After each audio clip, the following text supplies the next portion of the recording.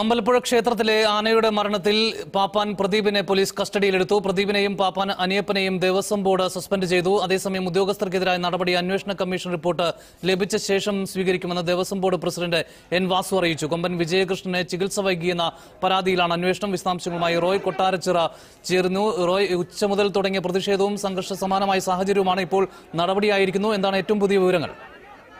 അനുപ്പ അമ്പലപ്പുഴ ക്ഷേത്രത്തിലെ കൊമ്പൻ വിജയകൃഷ്ണൻ ചെരിഞ്ഞതിൽ വൻ പ്രതിഷേധമാണ് അമ്പലപ്പുഴ ക്ഷേത്രത്തിന് പരിസര പരിസര പ്രദേശങ്ങളിലും ഉണ്ടായത്. നൂറുകണക്കിന് ഭക്തരും ആനപ്രേമികളും ക്ഷേത്രത്തിൽ തടിച്ചുകൂടി. ദേവസ്വം ബോർഡ് പ്രസിഡന്റ് അതോടൊപ്പം തന്നെ ഉദ്യോഗസ്ഥരും ഉന്നത ഉദ്യോഗസ്ഥരും സ്ഥലത്തെത്താതെ ആനയുടെ ജഡം ക്ഷേത്ര പരിസരത്തു നിന്ന് നീക്കാൻ അനുവദിക്കില്ല എന്നുള്ള നിലപാടാണ് അവർ കൈക്കൊണ്ടത്. ഇതേ തുടർന്ന് വൈകുന്നേരം ആറു മണിയോടെ ദേവസ്വം ബോർഡ് പ്രസിഡന്റ് എൻ വാസുവും ഉന്നത ഉദ്യോഗസ്ഥരും സ്ഥലത്തെത്തി. എന്നാൽ വൻ പ്രതിഷേധമാണ് വാസുവിനും അതോടൊപ്പം തന്നെ സഹപ്രവർത്തകർക്കും നേരിടേണ്ടി വന്നത്.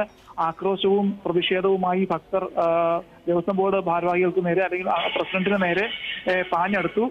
പോലീസിന്റെ സംരക്ഷണയിലാണ് അവർ ക്ഷേത്ര പരിസരത്ത് നിന്ന് പരിസരത്തു നിന്ന് തൊട്ടടുത്തുള്ള ഗസ്റ്റ് ഹൗസിലേക്ക് മാറിയത്. ചെരുപ്പ് വലിച്ചെറിയുകയും അതോടൊപ്പം തന്നെ മറ്റ് അസഭ്യങ്ങൾ പറയുകയും ചെയ്തു. എങ്കിലും ചർച്ചകളുടെ അടിസ്ഥാനത്തിൽ രണ്ട് പേർക്കെതിരെ നടപടിയെടുക്കാൻ തീരുമാനിച്ചിട്ടുണ്ട്. പ്രധാനമായിട്ടും ദേവസ്വം ബോർഡ് ഹരിപ്പാട് അമ്പല അമ്പലപ്പുഴ ക്ഷേത്രത്തിന്റെ ചുമതലയുള്ള ഹരിപ്പാട് ഡെപ്യൂട്ടി കമ്മീഷണർ ജി ബൈജുവിനെ തൽസ്ഥാനത്ത് നിന്ന് തൽക്കാലം മാറ്റി നിർത്താനും അതോടൊപ്പം തന്നെ രണ്ട് പാപ്പാന്മാരെ പ്രദീപ് എന്നും അനിയപ്പനും എന്നും പേരുള്ള രണ്ട് പാപ്പാന്മാർക്കെതിരെ ശരി റോയ് എന്തായാലും അമ്പലപ്പുഴ ക്ഷേത്രത്തിലെ ആനയുടെ ആന ചെരിഞ്ഞതിൽ വലിയ പ്രതിഷേധമുണ്ടായിരുന്നു ഇപ്പോൾ നടപടിയും ഉണ്ടായിരിക്കുന്നു.